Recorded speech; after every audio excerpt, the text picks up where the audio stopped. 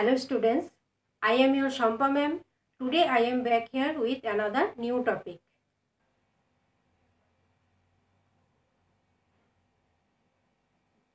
and today's topic is houses so children firstly we should know the meaning of house यानी house का मतलब क्या है? या घर किसको कहा जाता है?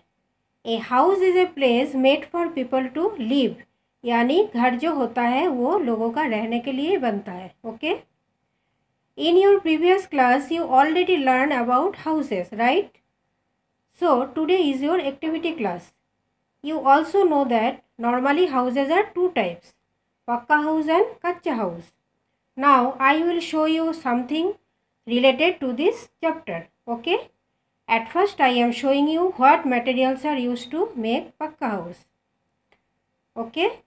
So, let's see. Children, see here. This is a brick. तुम लोग सभी को ही जानते हो, इसको ईट कहते हैं। पक्का घर जो बनते हैं, जैसे कि फ्लैट, बिल्डिंग बांग्लो, ये सब बनाने के लिए ये ब्रिक चाहिए, ओके? नाउ नेक्स्ट ये है सैंड इसको क्या बोलते हैं? हिंदी में इसको रेत कहता है okay next one is stone chips ये है पत्थर। और क्या चाहिए? देखो वाइट सीमेंट ये है वाइट सीमेंट और ये है iron rods okay and other than all these things, we have glass, okay? So, we also use the windows made of this glass. ज़्यादातर ज़्यादातर आजकल जो घर होता है ना, ज़्यादातर खिड़कियाँ ग्लास का ही होता है। ओके सो दीज ऑयर सब materials of pucca house so इसीलिए पक्का हाउस बहुत ही स्ट्रॉन्ग और परमानेंट होता है। Okay children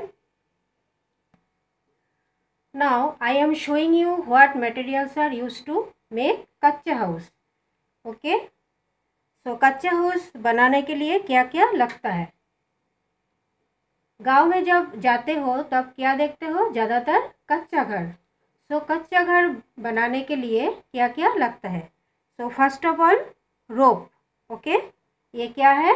इसको, जिसको बोलता है रस्सी। उसके बाद है देखो, स्ट्रॉ। ये मतलब कच्चा घर जो बनता है ना, उसका ऊपर में ये लगाता है।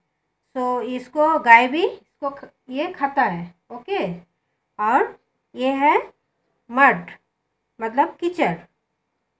और ये है, क्या है? ये पाम लीव्स, यानी सूखा हुआ पत्ता। ये भी चाहिए कच्चा घर बनते समय, okay?